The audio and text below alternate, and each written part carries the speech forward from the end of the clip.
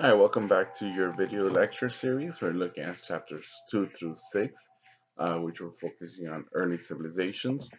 Uh, for chapter for part 1, we looked at the four river valley civilizations of uh, the Nile River in Mesopotamia, Indus River, and in China. Uh, now we're going to look at the civilizations that arose in the New World in the Americas, which include uh, Mexico and Peru. Right, so these are the um, American civilizations. Now, the first one is going to be the one we call the Chavín. Now, the Chavín are, are considered the mother culture of the Andean region, which is basically Peru uh, in South America. And we call them the mother cultures because they set up similar characteristics that other civilizations and other empires that came afterwards uh, would adopt as part of their own culture. And originally, they had uh, they didn't really have major cities but what they had was ceremonial centers. So these would be like temples where like the people would gather during religious holidays uh, to observe religious ceremonies. But eventually, over time, people started living or staying in those temples, and they started, you know, constructing cities around it, uh, and people lived there, you know, permanently.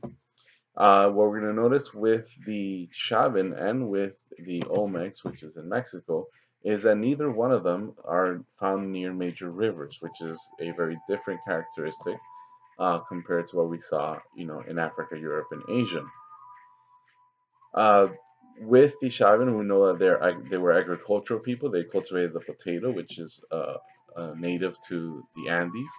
Uh, corn, which they actually imported from Mexico, and also quinoa, which has become much uh, was has become increasingly popular in people's diet nowadays.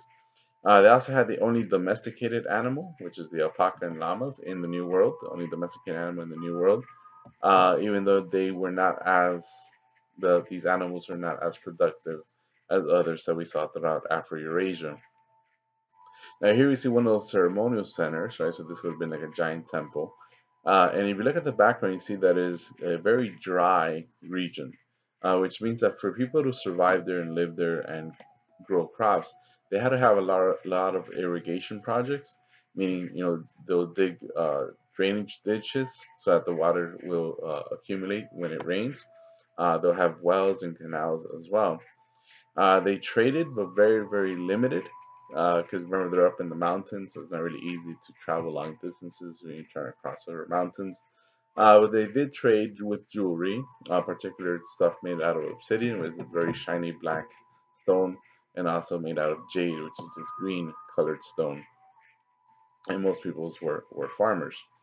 Uh, we also know that they uh, were able to work with metals like gold, silver, and, and copper. Uh, but unlike other places that learned metallurgy, these uh, this civilization never developed uh, the knowledge to make tools and weapons out of um, out of metal. Uh, so they kind of stayed with the Stone Age technology, right? With you know, uh, with stones and with wood, and that's about it.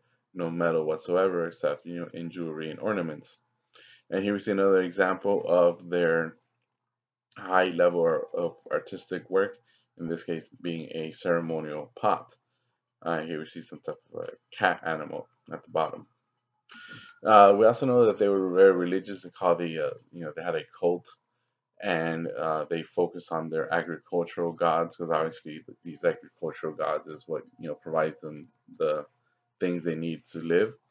Uh, and also would have shamans, right, which you kind of see here, a modern day shaman in Peru, uh, who believe to have a divine connection with the gods. So these people were kind of like chosen uh, to do the prayers and the sacrifices uh, to make the gods happy.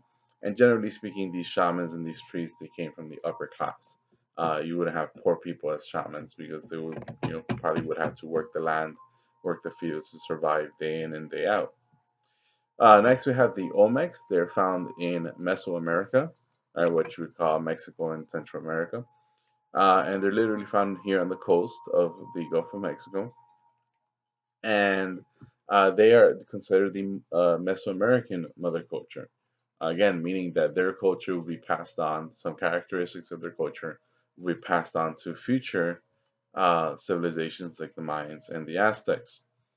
Now, uh, these people also were agricultural. They had trade, but very, very limited because remember, they don't have any animals to carry uh, goods across long distances. They never domesticated any, uh, they, or they couldn't domesticate animals like you know horses and stuff like that.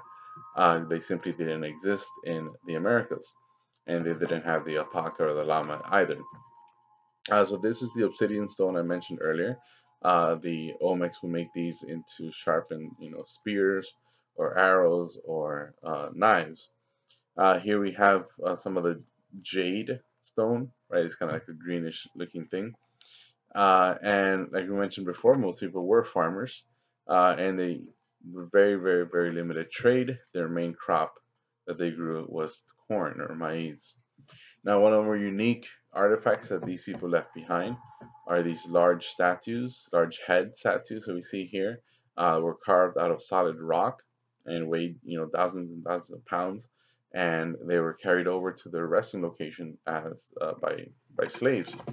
And these um, these head sculptures, uh, they were, uh, we believe that they were, uh, you know, these were either religious figures like their gods, uh, or their political leaders like a king would uh, want his face to be, you know, carved in stone and last for, you know, eternity. Uh, when it comes to science and math, the Olmecs are pretty advanced. Uh, for example, one of the things that they developed first was the concept of zero. Right now, a lot of civilizations had the numeric system where zero had a you know a place. They also had writing. They were the first uh, civilization to have writing in the Americas. Uh, they wrote in hieroglyphs, very similar to what how the Egyptians would have written. Uh, however, we don't know much about them, or we don't know what they wrote because it's undecipherable. No one has figured out uh, what it is that they were writing, so no one has translated. Uh, which is kind of the same thing uh, when it comes to the Indus Valley people, who also, you know, wrote, but no one else hasn't, no one has figured out what they meant. Uh, finally, they also had a very accurate calendar that they used for religious reasons.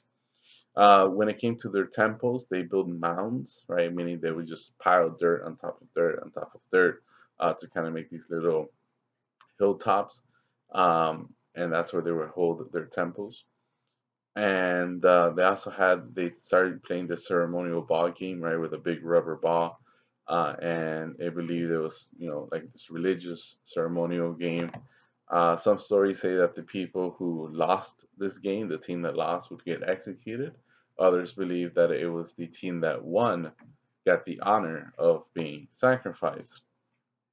Speaking of sacrifice, uh, the Olmecs were the first civilization in the Americas uh, to practice something we call ritual bloodletting, where basically uh, individuals willingly chose to stab themselves with these like darts or these uh, knives, uh, whether it's you know in their arms, in their legs, in their tongue, or in their ears, uh, to bleed out as much blood as possible. And it was believed that the blood was necessary for the gods uh, to keep their strength. And if the gods are too weak, then these uh, basically it's the end of the world because the sun's not going to rise, the rain isn't going to fall, and the crops are not going to grow.